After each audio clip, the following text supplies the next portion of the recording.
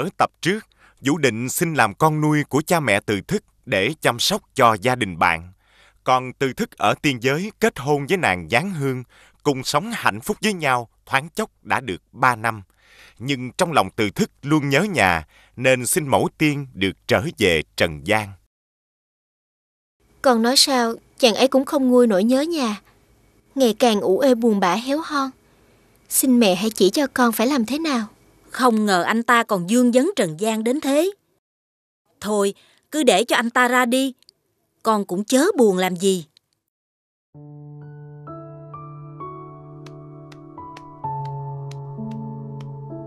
Ta gặp cha mẹ và em gái xong sẽ trở về ngay. Không lưu lại vài ngày đâu. Nàng cứ yên tâm. Thôi mà. Nàng không muốn nói lời từ biệt ta sao? Chàng nhất quyết muốn về nhà sao? Giật đổi sao dời Kiếp người chóng qua. Chàng có về cũng không tìm lại được người cũ cảnh xưa đâu. Chàng hãy ở lại tiên giới đi. Nơi đây còn nhiều điều chàng vẫn chưa biết hết.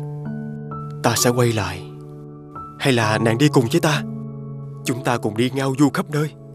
Bất kể là tiên giới hay là hạ giới Chỉ cần đi cùng với nhau Vậy là đủ rồi. Chàng biết thiếp không đi được mà.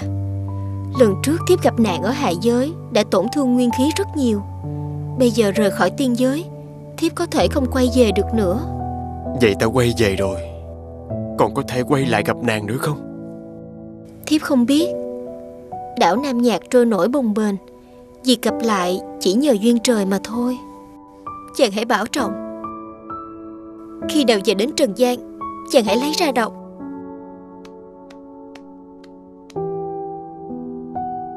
Tạm biệt nàng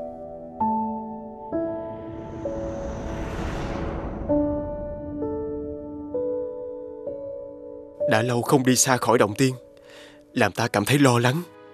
Chưa gì mà Ta đã thấy nhớ dáng hương rồi.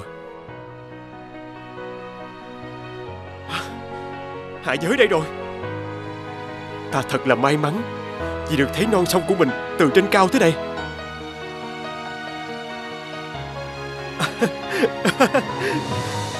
Quê hương Tống Sơn của ta đây rồi. Làng của ta chắc cũng sắp đến. Làng của ta kia rồi. Cha mẹ ơi Con sắp về đây.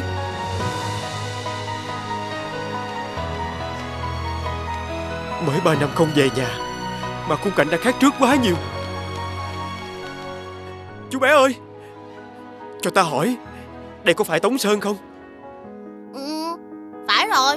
Chú tìm ai Cháu có biết nhà ông Từ trước kia làm quan tứ phẩm đã về hưu rồi không? Ừ, Nghe lạ quá à Có thể do cháu còn quá bé nên không biết đó. Vậy trong làng có ai họ Từ không? Ừ Dạ có. Có một ông họ Từ Đang canh giữ đình thần cho làng. Đình thần hả? Nằm ở đâu vậy? Cháu đưa ta đến đó có được không? Được.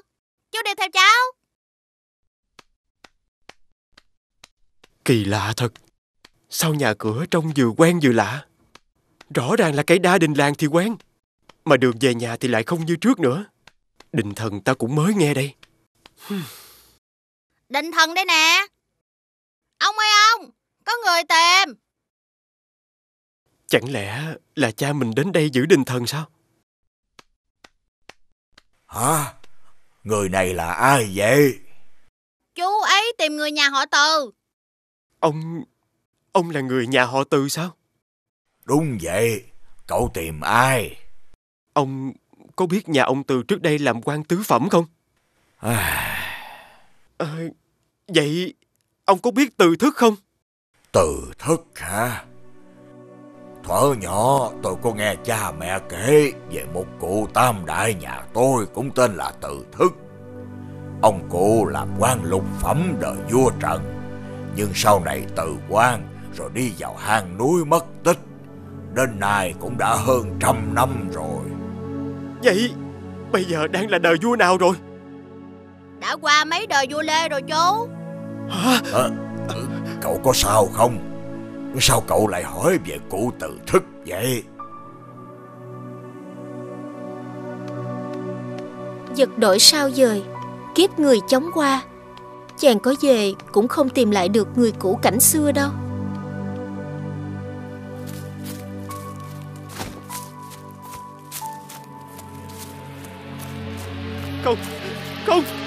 xe mây hãy khoan biến mất. Hãy đưa ta về cùng gián hương đã. Đợi đã.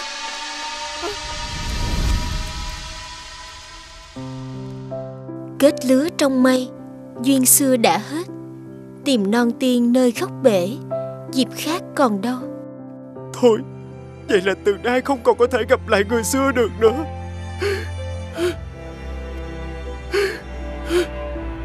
Sau đó, người ta thấy từ thức mặc áo cừu nhẹ, đội nón lá, đi mãi vào trong núi Hoành Sơn, thuộc tỉnh Thanh Hóa ngày nay. Rồi đi đâu mất không ai biết nữa. Hang động mà người ta cho là từ thức gặp gián hương, nay còn gọi là động từ thức.